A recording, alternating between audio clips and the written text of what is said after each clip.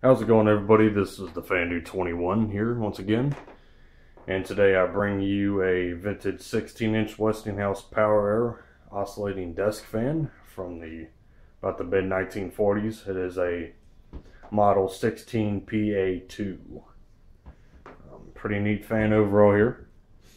Um, definitely one of the smoothest running fans in my collection so far if I say so myself. The blades on the fan are actually not made of metal, they're made of a pro thing called um, Micarta, which I believe was a pr product that Westinghouse manufactured, you know, as a, an alternative to, this metal. And, you know, these blades are definitely well, well balanced. And This fan is a, you know, it's really easy to turn this fan's head. I mean, it oscillates, but it's easy to turn the fan's head, but when the fan is running, the fan just, you know, it stays still. It doesn't like, you know, travel over to one side or another. So that's really impressive. And I figured that was noteworthy in the video. But it's a three-speed fan with oscillation right there. And without further ado, we'll go and give this thing a demonstration.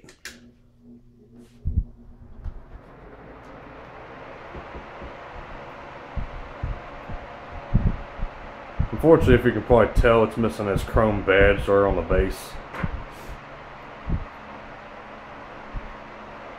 But yeah, this thing is definitely a powerhouse.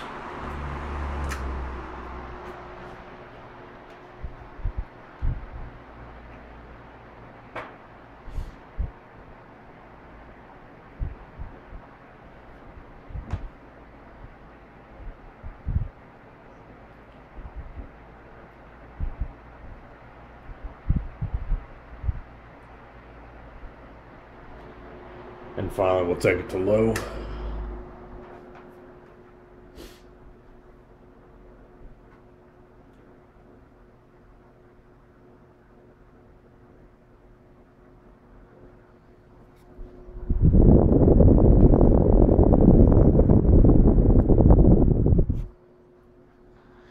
And to engage the oscillator on this fan, you just basically just turn this dial on the way it tightens up and the fan will oscillate, even though it don't seem to really have a wide range of oscillation too well.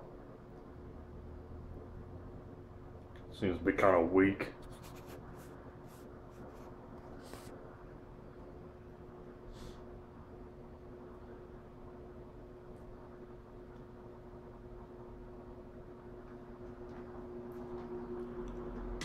Take it back up to medium.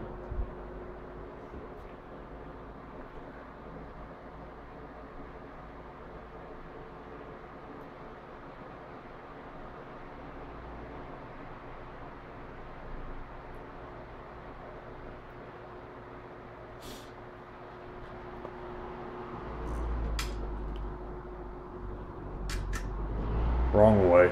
There's high.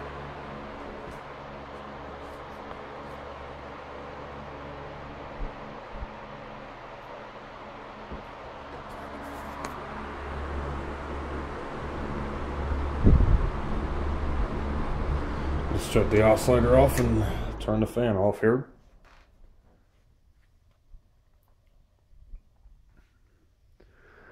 So there you have it for this video. So I thank you for watching. Hope you enjoyed the video on this vintage 16 inch Westinghouse Power Aire oscillating desk fan from the, I will say about the mid 1940s. So thank you for watching. Hope you enjoyed the video.